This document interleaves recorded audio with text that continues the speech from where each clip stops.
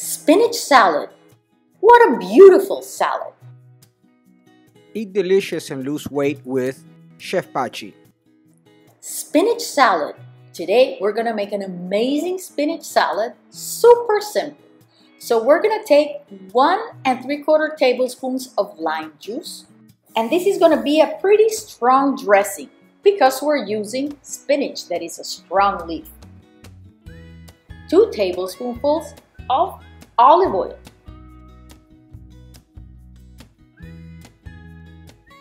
A pinch of salt because we have so much lime juice that we don't need to add a lot of salt, just a pinch. And a quarter teaspoon of pepper. To this, we're gonna add one teaspoon of Dijon mustard. We mix and we're done. We're gonna add some blueberries to the mixture and you can refrigerate it and leave it or leave it outside until you're ready to serve. Once you're ready to serve and you have your spinach washed and dry, start placing it in the serving platter.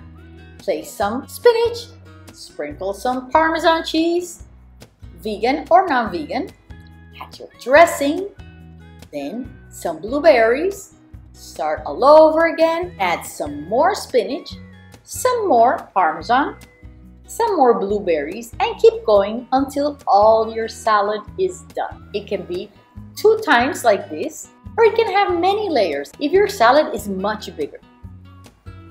Check it out, it's beautiful. If you're not using berries, you can also add half a teaspoon of honey to your dressing. Now I'm adding some red bell peppers, very thinly sliced. They look beautiful, bring out the blue in the blueberries and the green in the spinach. You can actually add some tofu and some garbanzo beans and you can actually add other things to it and have a whole meal. Chef Pachi!